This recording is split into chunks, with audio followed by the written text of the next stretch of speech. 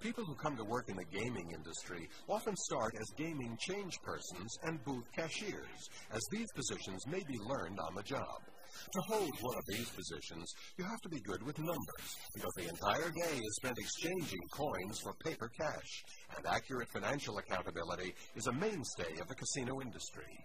The gaming change person wears a money belt or pushes a change cart and moves around the area on the casino floor where slot machines are located, providing change for players.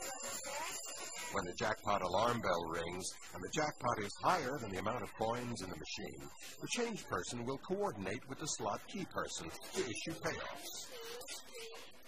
Another part of the job is making sure the customer signs a receipt for the payout. Change people have a strenuous job, always on the move, back and forth throughout the slot machine area of the casino.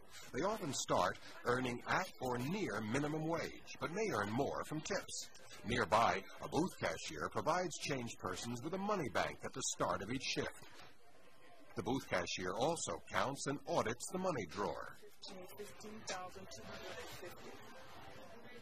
Patrons can also come to the booth for change, to cash in vouchers, and to redeem money for chips.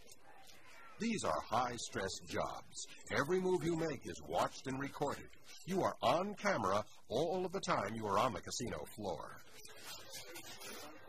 Both jobs require the ability to calculate and communicate quickly and carefully, often amid a lot of noise.